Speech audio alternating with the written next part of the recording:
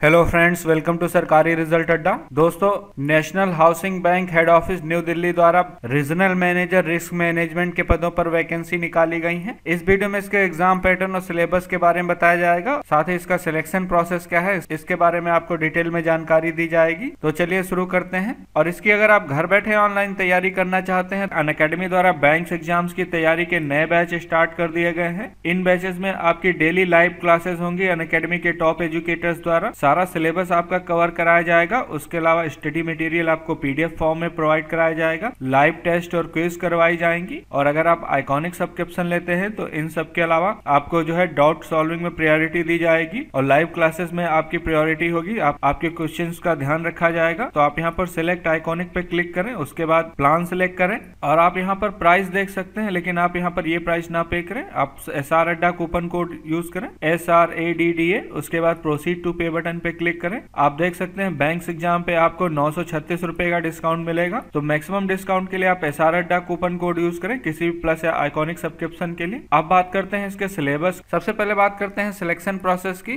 तो अगर जे M one की बात करें तो अब बात करते हैं सिलेक्शन प्रोसेस की। तो सबसे पहले बात करेंगे स्केल वन की। तो इसमें सबसे पहले आपका ऑनलाइन एग्जामिनेशन होगा, जो कि रिटर्न एग्ज़ाम होगा, जिसमें ऑब्जेक्टिव और डिस्क्रिप्टिव टाइप के क्वेश्चन पूछे जाएँगे 200 नंबर के। तीन घंटे में आपको इसको सॉल्व करना होगा, चार सेक्शंस का पेपर होगा, जिसमें पहले सेक्शन में आपसे रीजनिंग और कंप्यूटर एप्टीट्यूड से 45 क्वेश्चन पूछे जाएँगे 60 नंबर के। इसमें हिंदी और इंग्लिश दोनों लैंग्वेज में क्वेश्चन पूछे जाएँगे 60 मिनट में आपको इसको सॉल्व करना होगा। सेकेंड पार्ट आपका जो है जनरल अवेयरनेस का है, जिसमें स्पेशल फोकस होगा इकोनॉमी और बैंकिंग का। इसके अलावा कंप्यूटर नॉलेज से क्वेश्चन पूछे जाएँगे टोटल फिफ्टी क्वेश्चन होंगे फिफ्टी नंबर के। इंग्लिश और हिंदी लैंग्वेज में चालीस मिनट का टाइम दिया जाएगा इनको सॉल्व करने के लिए। इंग्लिश लैंग्वेज से टोटल पच्चीस क्वेश्चन पूछे जाएँगे, तीस नंबर के होंगे। इंग्लिश लैंग्वेज में ही क्वेश्चन पूछे जाएँगे। पैंतीस मिनट का टाइम दिया जाएगा इसको सॉल्व करने के लिए। इसके अलावा क्वांटिटेटिव एप्टीट्यूड से, जिसमें आपसे डेटा एनालिसिस और इंटरप्रिटेशन से ज़्यादा क्वेश्चन पूछे जाएँगे। पैंतीस क्वेश्चन होंगे टोटल इसमें साठ नंबर के क्वेश्चन होंगे और क्वेश्चन जो है हिंदी, इंग्लिश दोनों लैंग्वेज में पूछे जाएँगे। पैंतालीस मिनट का टाइम दिया जाएगा और ये पेपर आपका ऑब्जेक्टिव होगा।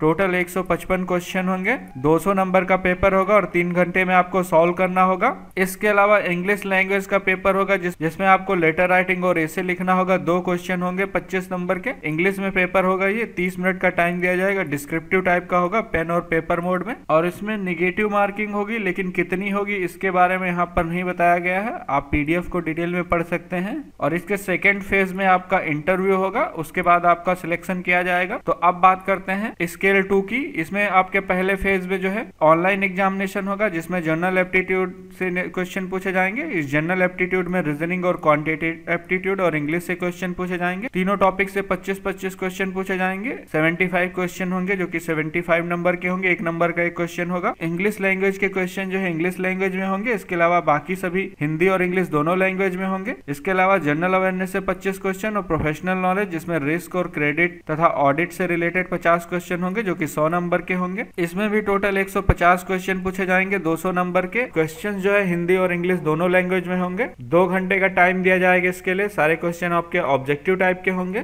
और इसके दूसरे फ़ेज़ में आपका इंटरव्यू होगा, जो कि 100 नंबर का होगा। तो अब बात करते हैं डिटेल सिलेबस की। सबसे पहले बात करते हैं इंग्लिश लैंग्वेज के सिलेबस की। तो इसमें आपसे रीडिंग कॉम्प्रहेंशन सेनोनिम्स और एंटोनिम्स से क्वेश्चन पूछे जाएँगे सेंटेंस करेक्शन वर्ड मीनिंग और क्लोज टेस्ट से क्वेश्चन पूछे जाएँगे। इन सब के अलावा one word substitution sentence rearrangement sentence completion phrase तथा एक्टिव पैसिव क्वेश्चन पूछे जाएँगे। और अगर क्वांटिटेटिव एप्टीट्यूड की बात करें तो इसमें time and distance time and work S C LCM simple तथा कंपाउंड इंटरेस्ट से क्वेश्चन पूछे जाएँगे प्रॉब्लम ऑन ट्रेन तथा एवरेज और प्रोबेबिलिटी से क्वेश्चन पूछे जाएँगे एलिगेशन तथा कंपैरिजन तथा परमुटेशन और कॉम्बिनेशन से क्वेश्चन पूछे जाएँगे pipe and system number system geometry तथा मेंसुरेशन से क्वेश्चन पूछे जाएँगे, इसके अलावा परसेंटेज अल्जेब्रा ट्रिग्नोमेट्री से क्वेश्चन पूछे जाएँगे। अगर रीजनिंग की बात करें तो इसमें number series blood relation analogy odd man out तथा नंबर सीरीज़ के बारे में पूछा जाएगा कोडिंग डिकोडिंग के बारे में पूछा जाएगा डायरेक्शन बेस्ड कॉन्सेप्ट पूछे जाएँगे रो अरेंजमेंट सिंबल तथा स्टेटमेंट रीडिंग और अंडरस्टैंडिंग से रिलेटेड क्वेश्चन पूछे जाएँगे।